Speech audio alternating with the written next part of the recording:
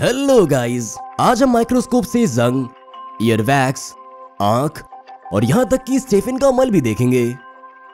चलिए आँख से शुरू करते हैं। कमरे में तेज रोशनी करने पर आँख की हरकत को करीब से देखना दिलचस्प है। आप इसे खुद ही आईने के सामने आजमा सकते हैं। बस लाइट बंद करें और चालू करें। लेकिन सबसे दिलचस्प चीज़ किनारे पर होती है। यहाँ पर एक लाख से ज़्यादा छोटी कोशिकाएँ हैं। जरा देखिए। हमने माइक्रोस्कोप को इस हद तक मैग्नीफाई कर दिया कि हम इससे ब्लड सेल्स को चलते हुए देख सकते हैं। कुछ कोशिकाएँ ब्लड सेल से थोड़ी सी ही बड़ी होती हैं। इसलिए ये एक ही लाइन में दिख रही। आप चाहते थे कि हम जंग को माइक्रोस्कोप में देखें, लेकिन हमें कहीं भी बढ़िया उदाहरण नहीं मिला। इसलिए हम इस चाकू में जंग लगाएँगे। हमें बस इतना करना है कि चाकू पर नमक डालकर हाइड्रोजन पेरोक्साइड की कुछ बूंदें डालनी है। कुछ ही मिनटों में केमिकल रिएक्शन होने लगा, जिसके दौरान कुछ गैसें निकली।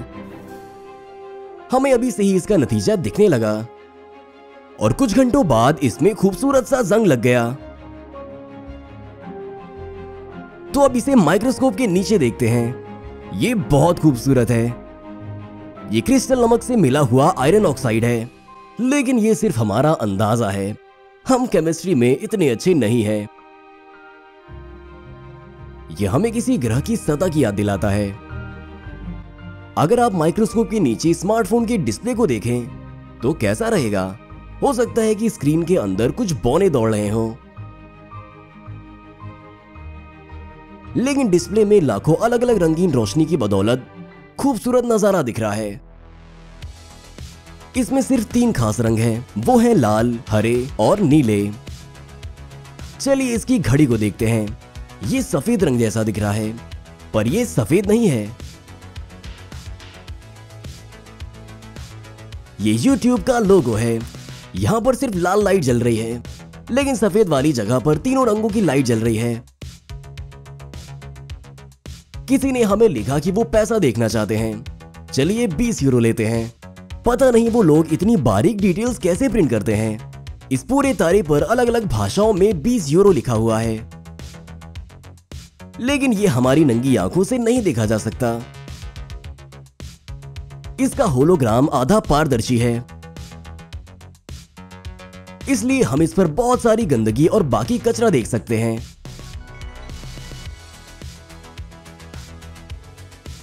लगभग सभी पिक्चर को बड़े प्रिंट पर बनाया जाता है, ताकि आप उन्हें गलत साबित ना कर सकें।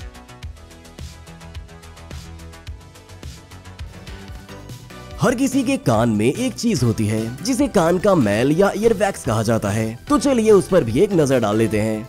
ये एक आधी पारदर्शी भूरी चीज़ है, जिसमें कई बुलबुले होते हैं। खास बैगनी रोशनी चालू करने पर हम इसे और सही से देख सकते हैं। सबसे दिलचस्प ये बड़े बाल हैं। ये माइक्रोस्कोप के नीचे देखने की वजह से हमें इतने बड़े दिख रहे हैं।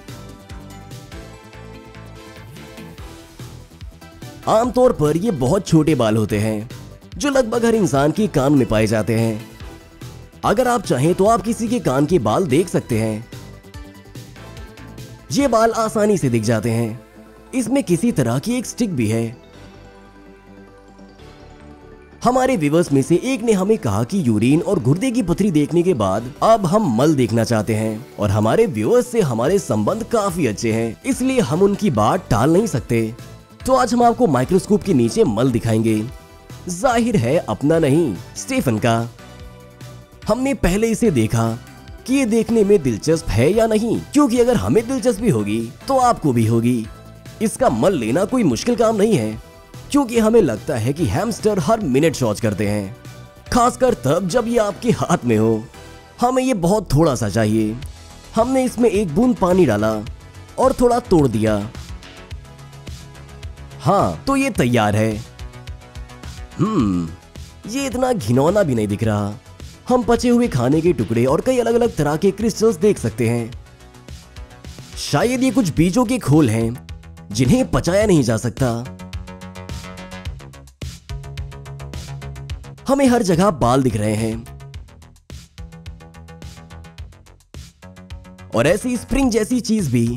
हम्म शायद ये एक पैरासाइट है, या फिर स्टीफन का डीएनए है। हमने थोड़ा और जूम किया, और हमें बहुत सारे बैक्टीरिया दिखने लगे, जो हर जगह हैं। आखिरकार, इंसानों और जानवरों दोनों में बैक्टीरिया खाने को बचाने में मदद करते हैं। इसके बाद हम जंगल में गए, जहाँ हमने कई कोन इकट्ठे किए। हर कोन सदाबहार पेड़ों के बढ़ने में मदद करता है। इसके अंदर दर्जनों छोटे हेलीकॉप्टर होते हैं, जो गिरते वक्त घूमते हैं, जिसकी बदौलत ये अपने पेड़ से दूर उड़कर चला जाता है। लेकिन इससे पहले कि हम इसे माइक्रोस्कोप में देखें, हम आपको एक बढ़िया ट्रिक दिखाते हैं। अगर आप कोन को एक ग्लास के तल पर चिपकाकर उसमें पानी भर दें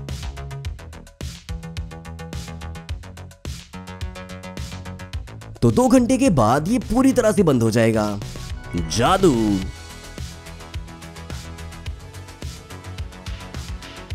और इसके उलट, अगर आप इसे गर्म जगह पर रख दें, ये अपने आप खुल जाएगा और अपने बीज छोड़ देगा।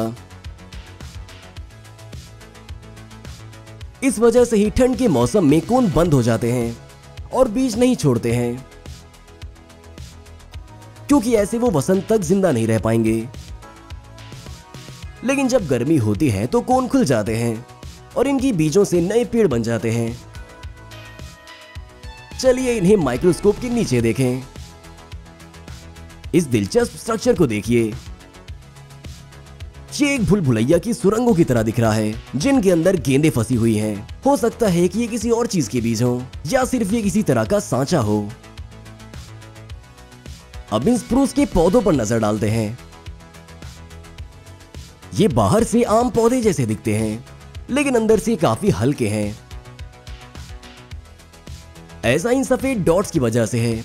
ये डॉट्स शायद अपनी खास गंध छोड़ने का काम करते हो। अब हम इसे क्रॉस सेक्शन में देखेंगे। यहाँ हम आगे पैदा होने वाली एक नई स्प्रूस की शाखा के तने को देख सकते हैं। हमारे चैनल को सब्सक्राइब करना ना भूलें। नहीं तो आप आने वाली दिलचस्प वीडियो मिस कर सकते हैं।